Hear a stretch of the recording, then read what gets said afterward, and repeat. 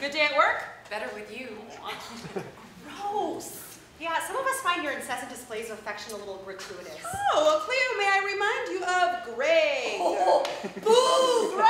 Greg! That was a definite dark period in my life. Why? Because you only like to have sex with the lights off?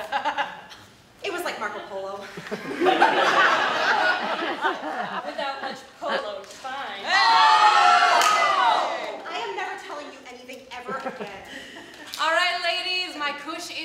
and I'm locked and loaded. Light it up and let's go.